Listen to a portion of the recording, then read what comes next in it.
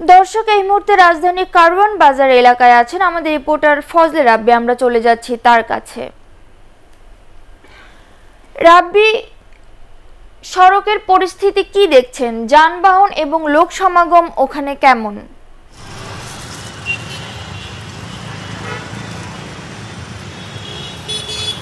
ধন্যবাদ নাজনীন। আমি এখন দাঁড়িয়ে আছি রাজধানীর কারওয়ান বাজার মোড়, অর্থাৎ সার্ক ফোয়ারা মোড়ে। আপনি দেখতেই পাচ্ছেন লকডাউন পরিস্থিতির শুরুর দিকে প্রথম সপ্তাহে আমরা যে একটি চিত্র দেখেছিলাম ঢাকা শহরে, আজকের তার পুরোপুরি বিপরীত। আজকে আমরা রাস্তায় ব্যক্তিগত পরিবহন, অবাধে চলাচল করতে দেখছি দেখছি রিক্সা কোনো রিক্সাই মনে হচ্ছে না, আর গ্যারেজে রয়েছে, সবই বেরিয়ে এসেছে।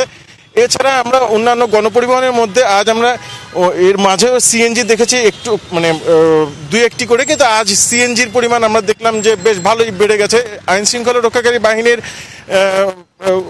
সদস্যদের মাঝে মাঝে টহল দিচ্ছেন কিন্তু তারপরেও সাধারণ মানুষকে আসলে ঘরে রাখা বা ঘরে রাখার ব্যাপারে কোনো ধরনের মনে হচ্ছে না আর কোনো লকডাউন কাজ করছে।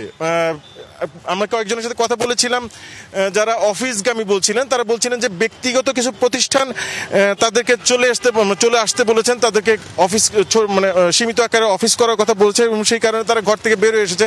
আপনি লক্ষ্য করলে দেখবেন যে আজ যারা ঘর থেকে বের হয়েছেন, তাদের মধ্যে ব্যক্তিগত সুরক্ষা সামগ্রীর ব্যাপারটিও, মাস্ক কিংবা গ্লাভসের যে ব্যাপারটি সেইটিও অনেক ক্ষেত্রে আমরা দেখছি যে সাধারণ মানুষের মধ্যে সেই সতর্কতাটুকুও আজকে দেখা যাচ্ছে না। এছাড়া আমরা সকাল থেকে হ্যাঁ সকাল থেকে বিভিন্ন ঢাকার প্রবেশ পথগুলোতে দেখেছি যে মানুষ অবাধে ঢাকার ভিতরে ঢুকছেন এবং তারা বলছেন যে তাদেরকে মেসেজ পাঠানো হয়েছে সে সমস্ত অফিসের থেকে যেন তারা চলে আসেন।